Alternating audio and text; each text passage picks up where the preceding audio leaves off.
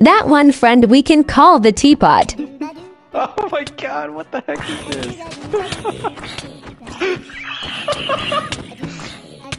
this?